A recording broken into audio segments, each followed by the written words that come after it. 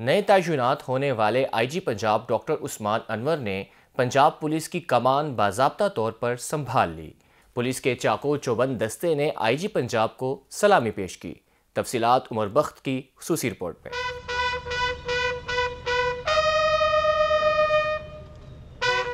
नए तैनात होने वाले आईजी पंजाब डॉक्टर उस्मान अनवर ने पंजाब पुलिस की कमान संभाल ली।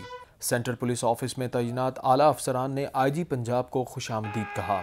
इस मौके पर पुलिस के चाको चुबन दस्ते ने आईजी पंजाब को सलामी पेश की।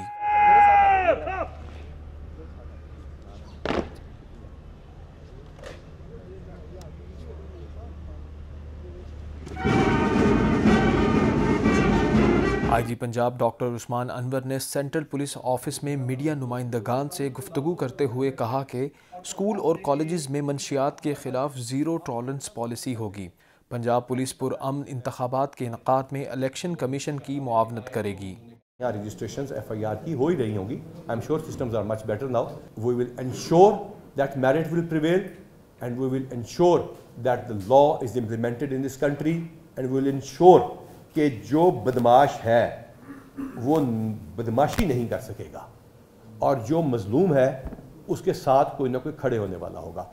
आई जी पंजाब ने कहा कि मुलाजमीन के मसाइल हल करने के लिए उनका दफ्तर हमेशा खुला रहेगा और वो हर सूरत कानून के नफाज और मजलूम की इमदाद को यकीनी बनाएँगे।